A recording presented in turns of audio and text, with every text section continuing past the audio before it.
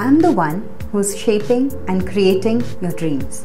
As a designer and leader of my team of experts, 2Ds, 3Ds, and a lot more, I start brainstorming on the best possible of design aesthetics, critical thinking, visualization, theme, ergonomics, vastu, anthropometry, detailed orientation, and space planning.